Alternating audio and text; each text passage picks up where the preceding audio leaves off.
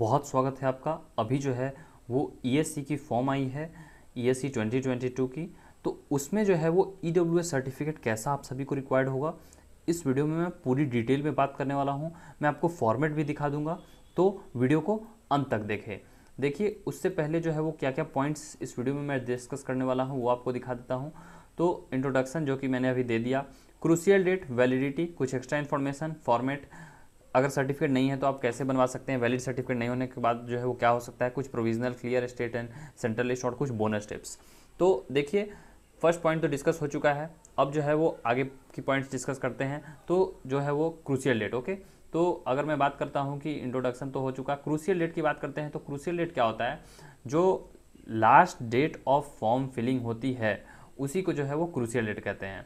तो जैसे अगर आप देखोगे तो यहाँ पे सीधा जो है वो लिखा गया हुआ है कि लास्ट डेट कब है? Last date of submission of application 12 दस 2021 तो यही जो है वो क्या है आपकी? क्रूसियल डेट ओके तो इसको जो है वो थोड़ा ध्यान में रखना है। और कुछ पॉइंट्स पे देखते हैं। तो वैलिडिटी की बात करते हैं तो देखिए सर्टिफिकेट आपका वैलिड कब से कब तक रहता है तो वो एक फाइनेंशियल ईयर तक रहता है वैलिड ओके एक फाइनेंशियल ईयर किसे कहते हैं? तो वो आपको पता होगा कि एक अप्रैल से लेकर जो है वो इकतीस, एक अप्रैल से लेकर इकतीस मार्च अगले साल के तक जो है वो उसे एक फाइनेंशियल ईयर होता है। तो उसी तरह आपका जितना भी कैटेगरी सर्टिफिकेट है ये ई e तो वो जो है वो आपका एक एक अप्रैल 2021 सपोज़ अगर आप 2021 में अप्रैल के बाद बनवा रहे हो ओके तो आपका सर्टिफिकेट कब तक वैलिड रहेगा? एक अप्रैल 2021 से लेकर 31 मार्च 2022 तक ही वैलिड रहेगा। कैंडिडेट्स को अमूमन एक गलत फहमी हो जाती है कि वो सोचते हैं कि अगर वो सपोज़ कि 8 अक्टूबर को जो है वो अपना सर्टिफिकेट बनवा रहे हैं तो वो सोचेंगे कि 8 अक्टूबर 2022 तक उनका वैलिड रहेगा। ऐसा नहीं होता है। आप किसी दिन बनवाओ ओके इवन अगर आप जो है वो तीस फरवरी को भी बनवाओगे सर्टिफिकेट तो वो इकतीस को एक्सपायर कर जाएगा ओके तो ऐसा जो है वो होता है। अब आते हैं एक्स्ट्रा इन्फॉर्मेशन जो कि मैं आपको बीच में दूँगा और फॉर्मेट पे ओके तो फॉर्मेट आप सभी को कैसा रिक्वायर्ड होगा, उससे पहले मैं आपको यहाँ पे दिखा दूँ कि देखिए यहाँ पे लिखा क्या गया हुआ है कि इस वाले, ये वाला पैराग्राफ को ध्यान से पढ़ेंगे। तो देखिए इसमें लिखा हुआ है कि अगर आप जो है वो ई e का बेनिफिट बेनिफिट लेना चाहते हैं तो आपके पास सर्टिफिकेट होना चाहिए जिसमें on the basis of for the financial year यहाँ आप देखिए फॉर द फाइनेंशियल ईयर ये वाला पॉइंट बहुत इंपॉर्टेंट है 2020 से 2021 तक। ओके?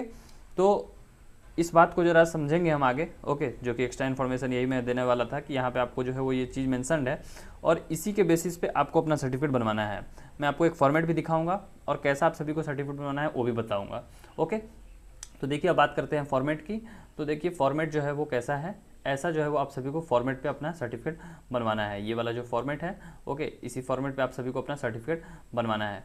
तो यहाँ पे देखिए यहाँ पे जो है वो क्या लिखा जाएगा? आप जिस भी स्टेट से बिलोंग करते होगे या फिर जिस भी राज्य से बिलोंग करते होगे तो यहाँ पे जैसे यूपी ओके तो यूपी लिखा जाएगा गवर्नमेंट ऑफ़ उत्तर प्रदेश उसके बाद यहाँ पे आपका सर्टिफिकेट नंबर हो गया। यहाँ पे जिस दिन डेट आप, जिस दिन सर्टिफिकेट बनेगा, वो डेट हो गया। यहाँ पे वैलिड ईयर क्या होगा? 2021 से 2022 ओके 2021 से 2022 आपका यहाँ पे सर्टिफिकेट वैलिड ईयर होगा। और दूसरी बात, जो कि बहुत इंपॉर्टेंट थी, यहाँ पे जो फाइनेंशियल ईयर की बात कही जा रही थी। तो ये वाला जो है वो आपको स्पेस में यही लिखना है ओके तो यहाँ पे आपको क्या लिखा जाएगा? यहाँ पे लिखा जाएगा 2021 से 2022 ओके यहाँ से 21 से 2022 लिखा जाएगा। तो यही बात जो है सॉरी यहाँ पे जो है वो 20 से 21 लिखा जाएगा ओके हाँ ये फाइनेंशियल ईयर जो है वो 20 से 21 लिखा जाएगा ओके यूजुअली जो है वो पेंटअप अभी मैं यूज़ नहीं कर रहा हूँ तो थोड़ा लिखने में प्रॉब्लम हो रही है। तो यहाँ पे जो है मैं आपको जो फॉर्मेट का एक डेमो इधर भी जो है वो एक कैंडिडेट का वो भी मैं आपको दिखाऊँगा। तो देखिए, ये वाला आपको पहले समझ लेते हैं। तो उसके बाद जो है वो यहाँ पे आपको नीचे आते हैं। तो स्टेट एंड सेंट्रल लिस्ट जैसा आपको कुछ दिखाई देगा।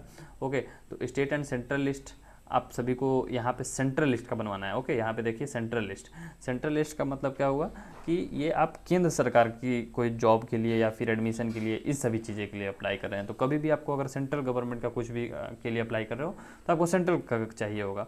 और अगर आप स्टेट का कर रहे हो तो स्टेट का चाहिए होगा। तो और कुछ कुछ जगह जो है वो सेंट्रल एंड स्टेट लिस्ट दोनों बनता है ओके एक ही सर्टिफिकेट में। तो आपको जो है वो ये चीज़ें है रिक्वायर्ड है। यहाँ पे आपको पासपोर्ट फ़ोटो साइज़ होगा मीन्स यहाँ पे आपका फ़ोटो होगा, उस पर आप सेल्फ अटेस्टेड लिख के साइन कर दोगे। यहाँ पे ऑफ़िस का जो है वो मोहर होगा या फिर डिजिटली साइन है तो वो भी वैलिड होगा। ओके तो एक पेज का ये जो है वो फॉर्मेट है। अब आपको जो है वो एक सैंपल दिखा देता हूँ मैं। देखिए तो ये जो है वो एक कैंडिडेट का है जो कि बिहार से बिलोंग करता है और करते हैं सॉरी। और उसके बाद जो है वो यहाँ पे देखिए, ये बिहार से बिलोंग करते हैं, मुजफ्फरपुर डिस्ट्रिक्ट से। और इनका जो सर्टिफिकेट बना हुआ है, ये था छब्बीस अट्ठाईस छः दो हज़ार इक्कीस को, ओके? और दूसरा भी दो दो डेट है। दो दो डेट क्यों है, वो भी मैं आपको आगे बताऊँगा वीडियो में। देखिए वैलिड ईयर इनका क्या है इनका वैलिड ईयर है 2021 से 2022 और जो फाइनेंशियल ईयर है इस बात पे ध्यान दें फाइनेंशियल ईयर क्या है 2020 से 2021 और यही तो बात यहाँ लिखी गई थी कि फाइनेंशियल ईयर आपका कब का होना चाहिए 2020 से 2021 का और यहाँ भी क्या है 2020 से 2021 तो वैलिड ईयर आपका होगा एक साल आगे का 2021 से 2022 और जो फाइनेंशियल ईयर होगा वो 2020 से 2021 ओके तो आपको सर्टिफिकेट में ये दोनों चीज़ें बहुत बारीकी से समझनी है, दोनों इक्वल नहीं होना चाहिए सेम नहीं होना चाहिए। अगर आपने सर्टिफिकेट बनवाया है अगर वो सेम हो गया है तो उसे बहुत जल्द ही जो है वो सुधार करवाएँ या फिर एक नया बनवाएँ ओके और यहाँ पे देखिए कि आप सभी के पास जो है वो यहाँ पे सर्टिफिकेट डेट जो है वो यहाँ पे दो दो है। अब नंबर तो आपका जो है वो भी यहाँ दो दो है तो भी मैं आपको बताता हूँ कि देखिए, पहले जो है वो सर्टिफिकेट या तो आप सीओ लेवल से बनवाएँ ओके सीओ लेवल से अगर आप बनवाओगे तो सी ओ लेवल या फिर आर ओ लेवल से बनवाओगे तो उसके कॉरस्पॉन्डिंग यहाँ पे डेट है। मीन्स ये जो सी ओ लेवल वाला डेट है ओके ये वाला डेट और ये वाला जो डेट है, ये आर ओ लेवल वाला डेट ये वाला जो है वो एच डी एम वाला डेट है। और अगर डी एम वाला बनता तो यहाँ पे भी जो है सर्टिफिकेट नंबर लिखा था, यहाँ पे फिर एक तीसरा डेट लिखा था। तो ये भी चीज़ें जो है वो होती हैं। तो आप सभी को ये बात भी ध्यान में रखनी है कि आप जो है वो सिर्फ़ आरओ लेवल से भी बनवाओगे तो चलेगा, या फिर आप एच डी लेवल से भी बनवा सकते हो, या फिर डीएम लेवल से भी बनवा सकते हो। तीनों में से कोई भी आपका चलेगा ओके अब देखिए, नीचे आते हैं तो यहाँ पे जो है वो फोटोग्राफ रहता है आपका। ओके यहाँ पे ब्लड है फोटोग्राफ यहाँ पे जो है वो आपका क्यूआर कोड होगा। और यहाँ पे देखिए, ध्यान से कि डिजिटली साइंड लिखा गया हुआ है। डिजिटली साइंड है, यानी कि ये वाला जो है वो आप सभी का कोई भी फ़िज़िकल मुहर नहीं लगा हुआ है या फिर साइन नहीं है, सब डिजिटल है। यहाँ पे देखिए डिजिटली साइन बाइन कुंदन कुंदन कुमार ओके ये जो है वो एच का है सिग्नेचर और ये वाला जो है वो आरओ का है। और अगर डीएम होता तो डीएम का फिर यहाँ पे हो जाता है एक। तो ऐसे जो है वो होता है। तो आपको मैंने सैंपल भी दिखा दिया कि ऐसा ही सर्टिफिकेट होता है, आप चाहे तो स्क्रीनशॉट ले सकते हैं इसका जो है, वो पार्ट बाई पार्ट में। तो क्योंकि एक बार में जो है वो आपको ठीक से नहीं आ पाएगा। ओके देखिए, एक बार में तो जूम नहीं कर पाओगे आप। तो मैं जो है वो इतना कर दे रहा हूँ, आप जो है वो स्क्रीन चाहे तो ले सकते हो ओके अब, देखिए, यहाँ पे कुछ स्टूडेंट्स को यहाँ पे डाउट रहती है कि अगर उनका सर्टिफिकेट टाइम पे नहीं बन पाया तो क्या होगा? सीधी सी बात है कि अगर आपका जो है वो सर्टिफिकेट टाइम पे नहीं बन पाया तो आपको प्रोविज़नल में डाल दिया जाएगा मीन्स आपको जो है वो क्लियर नहीं मिल पाएगा।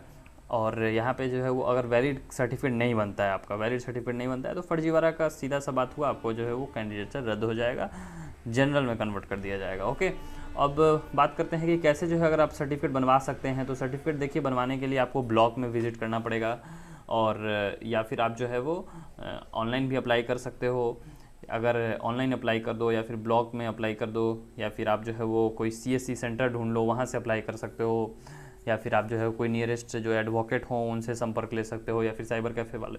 तो इतना सारा ऑप्शन मैंने बता दिया। इनसे किसी भी, पहले जो है आप अप्रोच करें ब्लॉक में जाने का या फिर सीएससी सेंटर या फिर ऑनलाइन खुद अप्लाई करने की कोशिश करें।